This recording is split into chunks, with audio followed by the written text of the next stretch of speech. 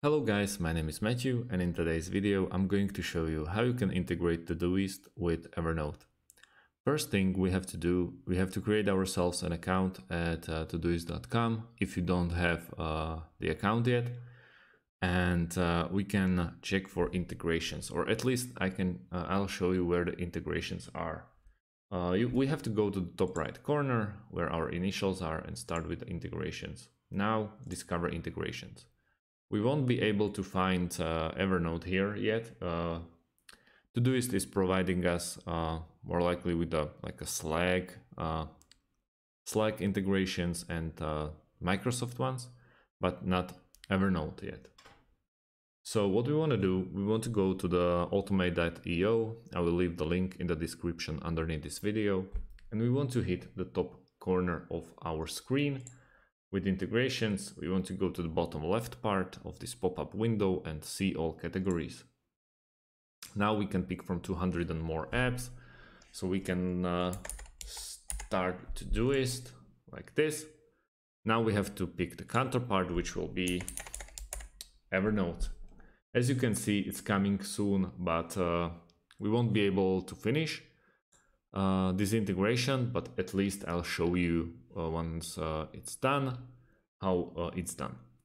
so as you can see, you can pick from uh, popular integrations or you'll be able to one, once they will release it. And if you won't be able to find any, we can you can create your own integration.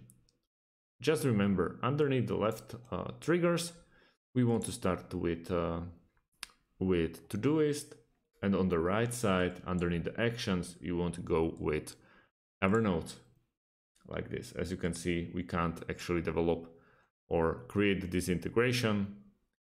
Uh, so we can try uh, Zapier. Uh, let's go to the zapier.com. We have to create ourselves an account here and uh, let's go to the top left corner on this uh, black button, make a zap.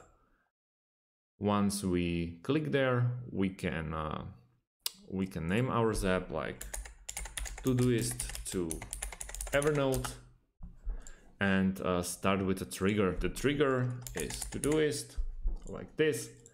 Trigger event, let's pick the first one continue. Uh, now we uh, have to choose an account, the one that I'm using. Set up a trigger uh, on the, from the project. Let's go with Todoist tutorial, continue. And now we can test the trigger.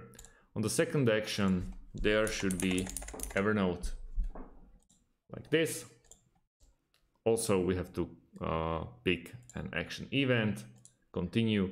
And the last thing we have to do is actually to sign into Evernote and we are basically done. So thanks for watching and see you on the next video.